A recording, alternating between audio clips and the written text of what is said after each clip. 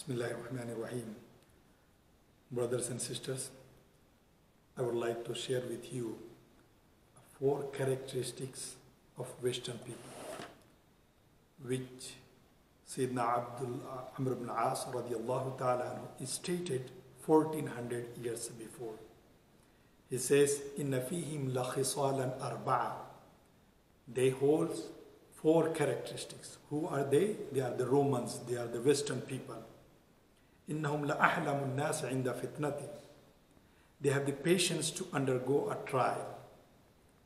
وَأَسْرَعُهُمْ إِفَاقَةً بَعْدَ مُصِيبَةٍ And immediately restore themselves to sanity after trouble. Number three, وَأَوْشَكُهُمْ كَرَّةً بَعْدَ فَرَّةٍ And attack again after flight.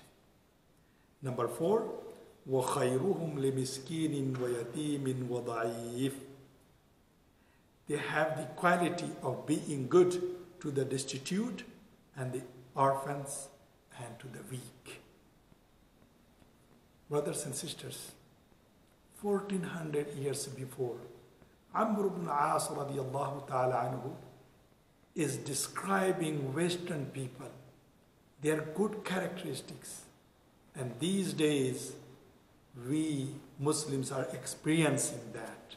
Therefore, brothers and sisters, we must hold the characteristics of goodness as well. This is our responsibility. May Allah subhanahu wa ta'ala give us tawfiq to follow the sunnah of the Prophet sallallahu ta'ala alayhi wa sallam.